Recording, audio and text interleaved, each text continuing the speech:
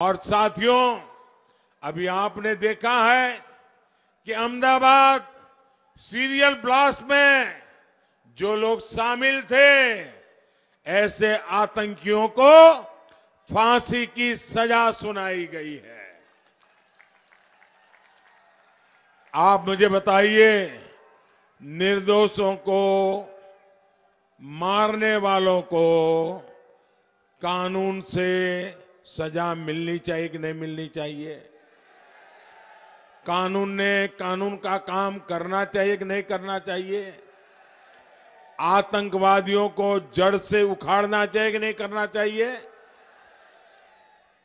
देश को बर्बाद करने जो आतंकी निकले थे, उन्हें अदालत ने पूरी जाँच पड़ताल के बाद अनेक वर्षों तक केस चला।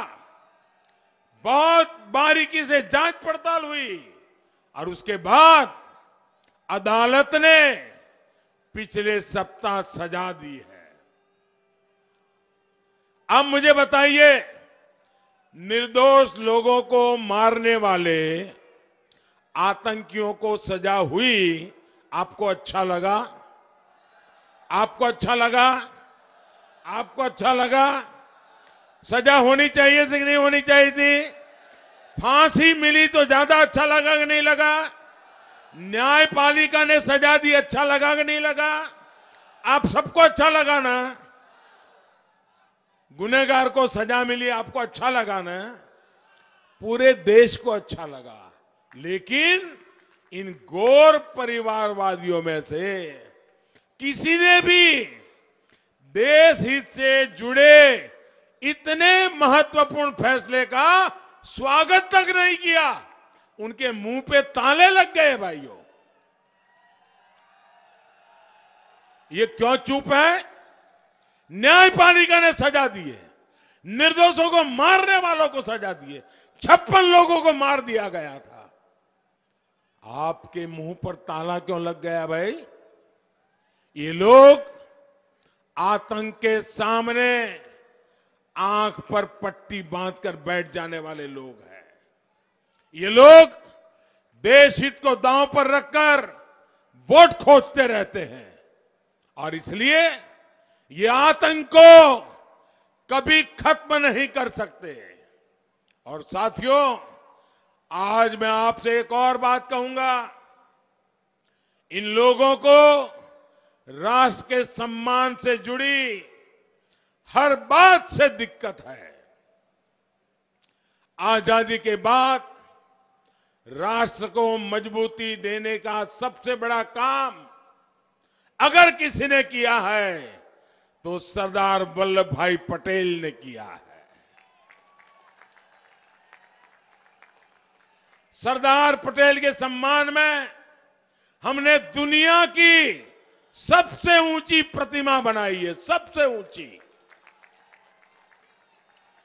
Statue of unity. हर देशवासी को एकता का, एकजुटता का संदेश देती है।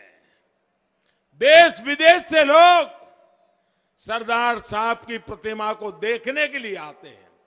मुझे याद है, यहाँ उत्तर प्रदेश से भी बहुत से हमारे भाई बहन सरदार साहब की इस प्रतिमा को नमन करने के लिए गुजरात जाते हैं। लेकिन मुझे देखकर बहुत अफसोस होता है कि गौर परिवारवादियों के पास सरदार साहब को नमन करने का समय नहीं है, उनकी इज़्ज़त करने का समय नहीं है। उन लोगों के पास विदेश घूमने के लिए समय है, बहुत समय है, लेकिन सरदार साहब से नाम सुनते ही दूर भागते हैं। भाइयों बहनों मैं कल यहाँ कौशंबी का ही एक वीडियो देख रहा था। यहीं का वीडियो था। ये गौर परिवारवादी किस तरह दलितों का अपमान करते हैं, ये उस वीडियो में साफ़ दिखाई देता है। इन गौर परिवारवादियों को भगवान गौतम बुद्ध की प्रतिमा तक स्वीकार करना गंवारा नहीं है। ये भगवान बुद्ध का अपमान है कि नहीं है? अपमान है कि नहीं है? ये दलितों का अपमान है कि नहीं है? ये पिछड़ों का अपमान है कि नहीं है? ये गरीबों का अपमान है कि नहीं है? लेकिन उनको भगवान बुद्ध की प्रतिमा लेने का तो मन नहीं करता है। लेकिन चांदी का मुकुट देखा तो मुँह में पानी छुड़ गया। और चांदी का मोटर तो लपक लिया। ये लोग गौतम बुद्ध की इस धरती पर गरीबों का कभी कल्याण नहीं कर सकते। इन लोगों से आप सभी को बहुत सतर्क रहने की ज़रूरत है।